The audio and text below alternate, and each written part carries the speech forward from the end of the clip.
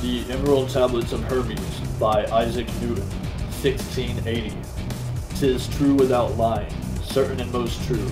That which is below is like that which is above, and that which is above is like that which is below. To do ye miracles of one only thing.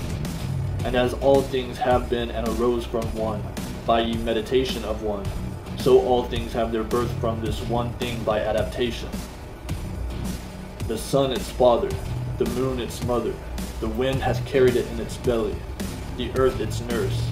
The father of all perfection in the whole world is here.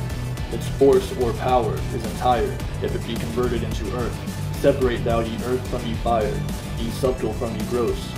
With great industry, it ascends from ye earth to ye heaven, and again it descends to ye earth, and receives ye force of all things superior and inferior.